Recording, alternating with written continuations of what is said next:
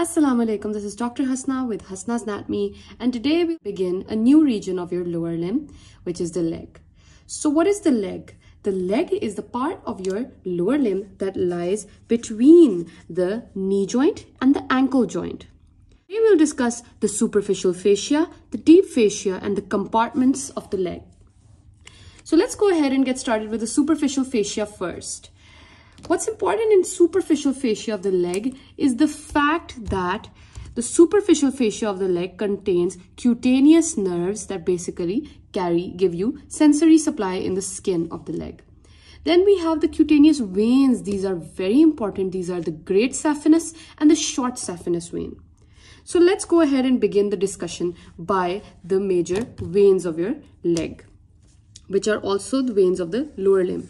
So let's suppose that this is the leg. Here is your knee joint and here is your ankle joint.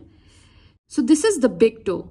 So always remember in the lower limb, the big toe is the medial side while the small toe is the lateral side. That is one important thing to know. So what happens is the great saphenous vein is a more medial vein while the short saphenous vein or the small saphenous vein is a lateral vein. So what happens is basically these veins begin from a dorsal venous arch. The dorsal venous arch lies on the dorsum of the foot. This is also important part that the dorsum of the foot is your upper part of the foot. And beneath the dorsum or the lower part of the foot is known as the plantar part of the foot or you can even call it the sole of the foot. So the dorsal venous arch is similar to your uh, hand which had a dorsal venous arch. So dorsal venous arch is formed the dorsal venous arch receives tributaries of four dorsal metatarsal veins, which are basically going to be coming from dorsal digital veins of your each toe. All right. However, the tributary of the medial side of the great toe and tributary of the lateral side of the great toe are yet to be made.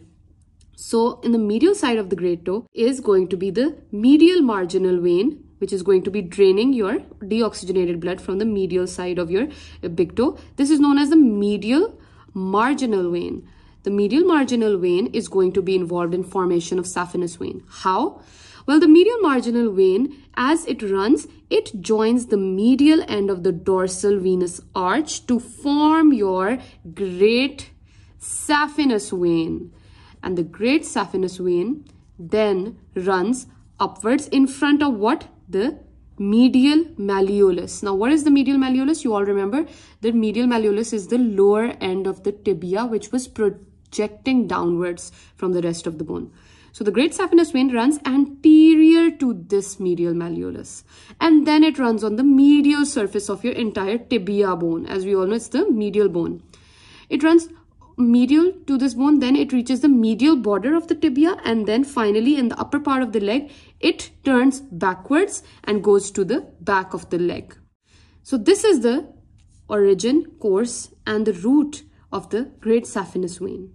Now let's go ahead and talk about the short saphenous vein or the small saphenous vein. The small saphenous vein begins on the lateral side of the little toe and from here it drains blood and goes all the way here lateral marginal vein. And similar to this side the lateral marginal vein joins with the extreme lateral end of the dorsal venous arch to form the short saphenous vein. All right? And here lies the lateral malleolus. The difference between here is that the short saphenous vein passes behind the lateral malleolus and enters the back of the leg. The rest of the course of short saphenous vein will be discussed in the back of leg because that's all for its course in the anterior part of the leg so these were the basic veins, cutaneous veins of the superficial fascia of the leg. Now let's go ahead and discuss the next part of the superficial fascia of the leg, which is the cutaneous innervation. Now this is very important because it is necessary to know what supplies which area of the leg and it can get quite confusing. However, I will once again make it easy for you. So this is the dorsum of the foot. This is the medial side. This is the lateral side. So let's suppose this is the ankle joint. All right these are it is represented by the malleoli. All right. So what happens is what supplies your entire leg? Well there is let's talk about the medial side first. On the medial side of your entire leg up to the ball of great toe or the base of the great toe, the supply of the skin is via the saphenous nerve. And saphenous nerve is derived from the posterior division of your femoral nerve if you remember the nerve of the anterior compartment of your thigh. It gives an infrapatellar branch which supplies the skin over the ligamentum patellae and then it itself saphenous nerve is going to run in front of the great saphenous vein and is going to supply your entire medial side of the leg the medial border of the dorsum of the foot and it is going to supply up to the base or the ball of big toe. All right? That means it does not supply the toe itself then we have the lateral side what about the lateral side what supplies the lateral side well it's divided into an upper third and a lower third the lateral side of your leg is supplied in its upper two thirds by the lateral cutaneous nerve of the calf. Where is this nerve coming from? It is coming from the common peroneal nerve. Now, what is the common peroneal nerve? The sciatic nerve in the popliteal fossa divided into the tibial nerve and the common peroneal nerve. The common peroneal nerve, anything related to the lateral side of your leg is known as peroneal or the fibular.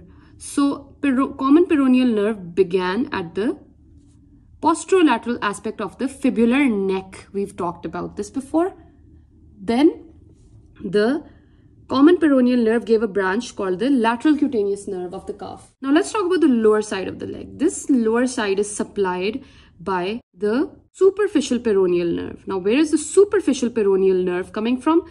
The superficial peroneal nerve is a branch of the common peroneal nerve. So, the common peroneal nerve, once it arises from the sciatic nerve, it goes to posterolateral aspect of the fibular neck, where it terminates by dividing into a superficial and a deep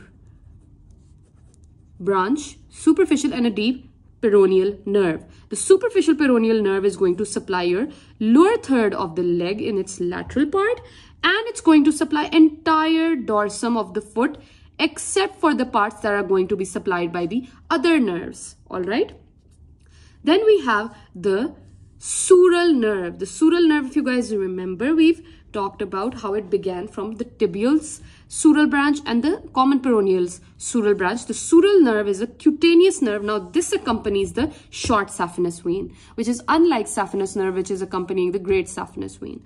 Sural nerve is going to supply the lower third of the back of the leg and the entire lateral border of the dorsum of the foot up to the tip of the little toe. And now what is left is the deep peroneal nerve. The deep peroneal nerve supplies the first interdigital cleft of the foot. The first, inter what is interdigital cleft? Digit meaning two digits.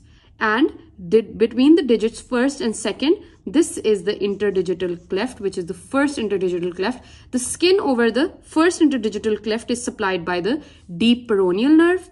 And finally, the medial three and a half Distal digits are supplied by the medial plantar nerve. The lateral one and a half part of the digits is supplied by the lateral plantar nerve. So that was all you needed to know for your cutaneous supply. Let's go through this again. The entire medial side of your leg and dorsum of the foot in its medial border along till the uh, ball of the great toe is supplied by the saphenous nerve. The upper part of the lateral side of the leg in its upper two-third is supplied by the lateral cutaneous nerve of the calf, which is a branch of common peroneal nerve. Then we have the lateral border of the foot and the back of the leg is being supplied by the sural nerve. Then we have the superficial peroneal nerve supplying your lower half of the leg along with the entire dorsum of the foot, except for the part supplied by other nerves. The first interdigital cleft is getting supplied by the deep peroneal nerve of the common peroneal nerve. And finally, the digit digits in their distal parts, three and a half are being supplied by medial plantar nerve and lateral one and a half being supplied by lateral plantar nerve. So that was all you needed to know for the superficial fascia of the leg. In the next video, we'll talk about the deep fascia and the compartmentalization of your leg. Thank you so much for watching.